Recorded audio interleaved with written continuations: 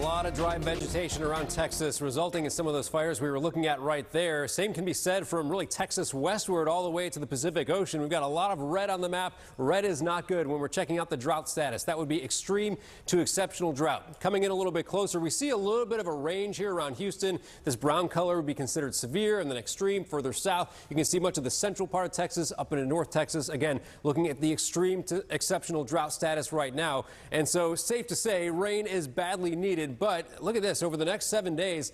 Hardly anything for a large part of Texas. Not good news right there. Meanwhile, there are flood watches up in parts of the southwest. Several inches of rain could fall around parts of Arizona, near the Four Corners, to around Colorado, central part of the country, on into uh, the mid-Mississippi Valley and areas east towards the mid-Atlantic. Looking at some very wet weather as well. Now, you'll notice that little bit of green over us. That's because we could see some rain, especially a little later this week here in southeast Texas. Right now, over the coast and uh, down more so into the water, we see a couple of showers or storms here and there. Those could be approaching our coast coastline today, but I think most of our area stays dry. At best, it's only a 10% rain chance today, meaning 90% of the area will be seeing dry weather. We're up to 20% and then 30 and then 40, so we're going in the right direction. Thursday into Friday, our rain chances are on the rise.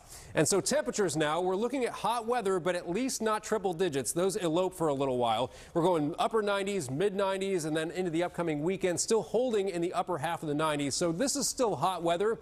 But this is pretty close to normal. In fact, this might be the most normal week of summer weather we've had for quite some time with a lack of the 100s.